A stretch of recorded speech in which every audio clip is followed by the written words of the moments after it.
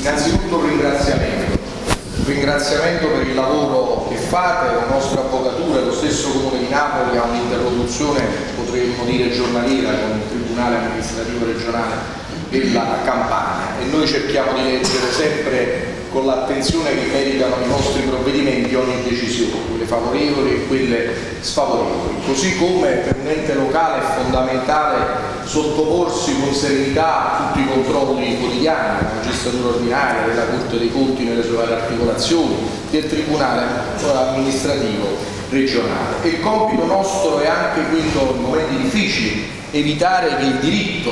da strumento di espansione dei diritti affievoliti possa diventare la gabbia che non, che non consente ai diritti costituzionali di potersi affermare. Ecco perché compete anche a noi, rappresentanti delle amministrazioni locali, provare sempre a interpretare lo stesso diritto in modo sempre più costituzionalmente orientato. E io, ad esempio, con particolare favore ho salutato una sentenza della Corte Costituzionale poco prima di Natale sul rapporto tra l'articolo 81 capoverso sul pareggio di bilancio inserito in Costituzione e i diritti costituzionali primari che troppo spesso vengono soffocati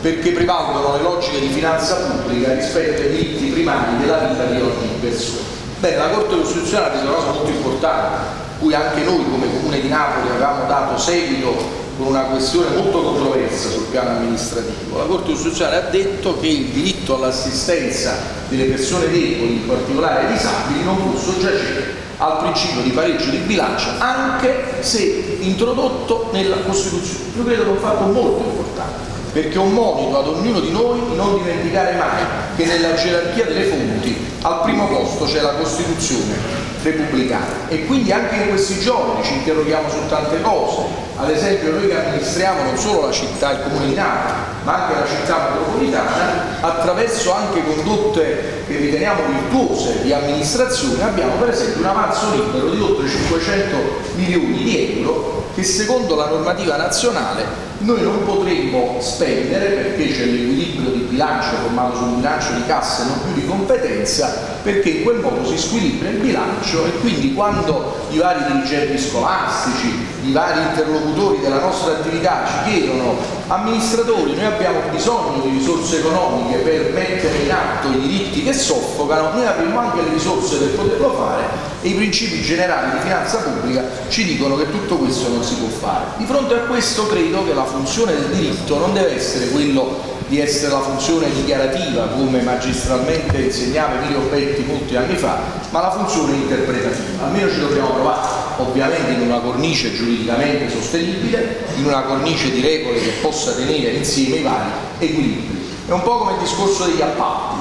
Ben vengano controlli, certe volte alcuni controlli si sovrappongono anche, ben vengano le norme, quando però diventa un ginepraio di norme che alla fine aumenta il contenzioso e si registra anche un rallentamento certe volte delle procedure dei lavori pubblici, questo ci deve impegnare ad ognuno di noi a fare sempre maggiormente sforzi per avere regole chiare, precise, comprensibili da tutti, dal RUP al funzionario amministrativo, al dirigente, al sindaco e a tutti coloro che poi si devono occupare di procedure così complesse. Allora anche qui le difficoltà sono davvero tante, però credo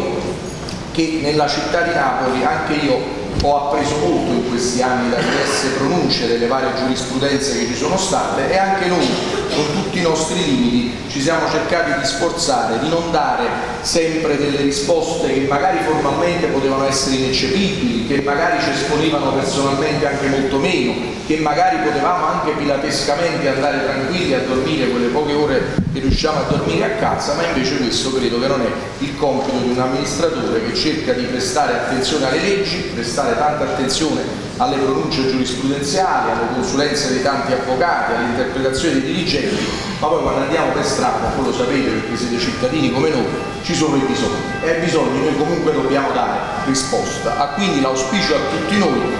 non perdere mai di vista, così come in questi mesi si è tanto discusso della Costituzione repubblicana, che il diritto e soprattutto un mezzo per cercare di dare forza ai diritti che sono più deboli. E i diritti deboli non possono soggiacere di fronte al potere più forte che sembra essere quello del denaro o della finanza pubblica perché poi se andiamo a guardare con attenzione si possono anche nella vita fare delle interpretazioni che ci fanno stare ancora più tranquilli con la coscienza perché abbiamo mantenuto un equilibrio giuridicamente sostenibile ma abbiamo dato anche una risposta ai tanti diritti che sono particolarmente deboli nel nostro Paese. Io come dire, voglio quindi concludere questo mio saluto garantendo come sempre la cooperazione istituzionale, ognuna nelle proprie autonomie tra l'istituzione locale, cittadina e metropolitana della nostra città il Tribunale amministrativo regionale e anche eh, ringraziare il Tribunale amministrativo, amministrativo, Tribunale amministrativo regionale per il lavoro difficile e complicato, primo in Italia per quantità di pronunce,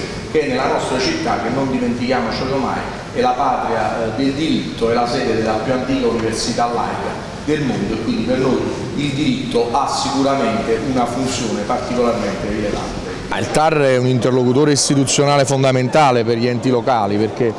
sono tante le procedure, tanti procedimenti, attività di controllo che deve avere sempre uno sguardo attento sulle sofferenze e difficoltà con cui si amministra e anche tutti insieme guardare con attenzione l'interpretazione costituzionalmente orientata che cerchiamo di dare di norme che certe volte rischiano di mettere in ginocchio gli enti locali. Quindi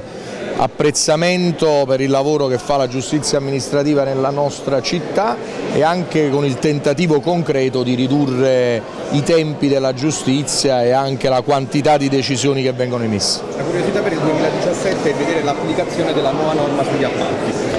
Sì, e là c'è tanto da fare perché ci vuole trasparenza,